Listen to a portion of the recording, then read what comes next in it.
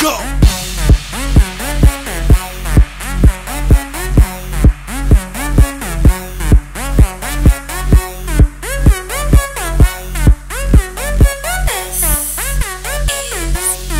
want that overflow. I need that overflow. I need that overflow.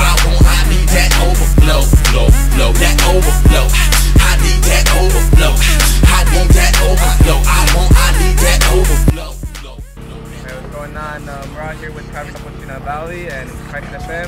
Uh, we're out here, uh, you know, just loving on these kids, you know, letting them know what's up with Jesus, sharing the gospel.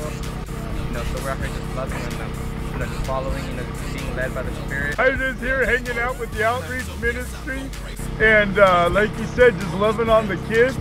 There's a lot of kids here today, and hopefully be able to, to share with them. You know, hopefully one on one.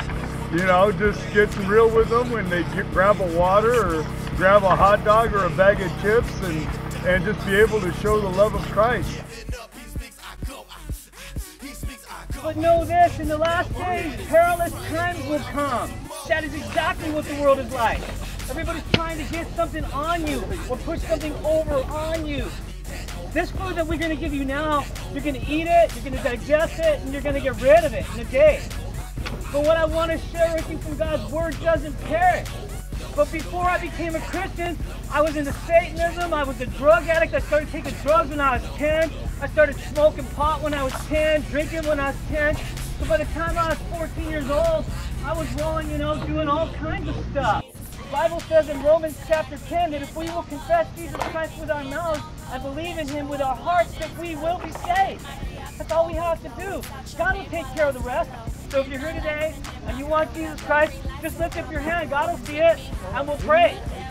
Anybody out here today? Anybody at all? You don't have to be afraid. Anybody?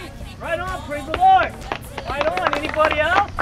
Right on. Praise God. Right on. Right on. Praise the Lord.